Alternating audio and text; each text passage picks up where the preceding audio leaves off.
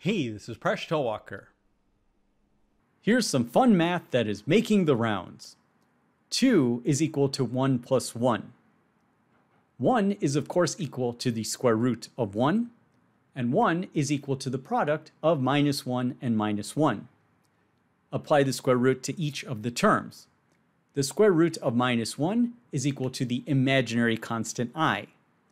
i times i is equal to i squared, and i squared is equal to minus 1. So 2 is equal to 1 plus minus 1, but 1 plus minus 1 is equal to 0. Therefore, 2 is equal to 0. We have an absurd conclusion that 2 is equal to 0, but we started out that 2 is equal to 1 plus 1, and every step was seemingly true. Can you find the mistake? In order to explain this supposed false proof in detail, let me go through each line step by step. The first equation is 2 is equal to 1 plus 1. This is, of course, a true equation.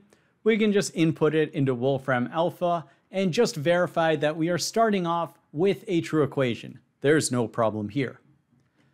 Now we replace 1 with the square root of 1, and this will of course be no problem. 2 is equal to 1 plus the square root of 1.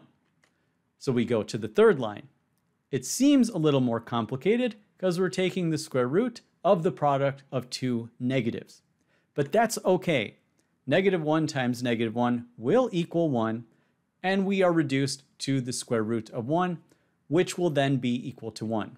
So 2 is equal to 1 plus the square root of minus 1 times minus 1. Let's now go to the fourth line. When we input this into Wolfram Alpha, we see this is where all the trouble begins. This is not a true equation. So something has gone wrong from the third line to the fourth line. So what is the mistake when we go from the third line to the fourth line where we have applied the square root to each of these negative terms? It is not the case that the square root of the product of negative 1 with negative 1 is equal to the product of the square root of minus 1 with the square root of minus 1. Now, a student could be forgiven for applying this rule because in class we are often taught the rules for square roots, and we have to blindly just memorize these rules and apply them so that we can solve all the test problems in time. It would seem that the square root of a product is equal to the product of the square roots. So why is it wrong to apply the rule in this case? Well, most students don't look at the fine print that when you have the rules for square roots, there are usually some conditions. So in this case, they might specify that the numbers are both positive. So you can't apply in this case because x and y are equal to minus 1. And clearly, when you apply the product rule to negative numbers, you end up with absurd results like 2 is equal to 0. So rules in math are important, and we should follow them or else the entire universe could fall apart.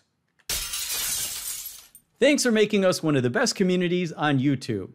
See you next episode of Mind Your Decisions, where we solve the world's problems, one video at a time.